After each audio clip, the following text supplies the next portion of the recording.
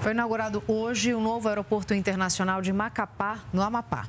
O presidente Jair Bolsonaro participou do lançamento do terminal, que poderá receber 5 milhões de passageiros por ano, o dobro da capacidade atual de atendimento. A ideia é integrar o Amapá ao resto do Brasil.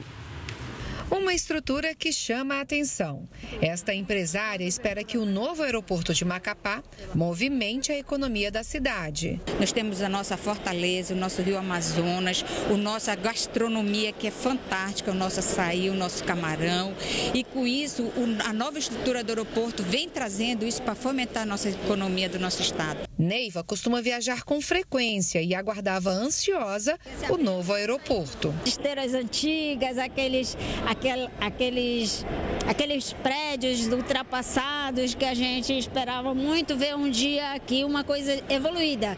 O novo aeroporto internacional de Macapá é quase cinco vezes maior que o antigo terminal e poderá receber 5 milhões de passageiros por ano, o dobro da capacidade do antigo aeroporto. A obra custou pouco mais de 166 milhões de reais. Houve aqui também uma preocupação com a sustentabilidade. A estrutura tem iluminação natural e sistema automatizado de lâmpadas de LED, o que vai permitir uma economia de energia de 50% comparado ao antigo antigo terminal.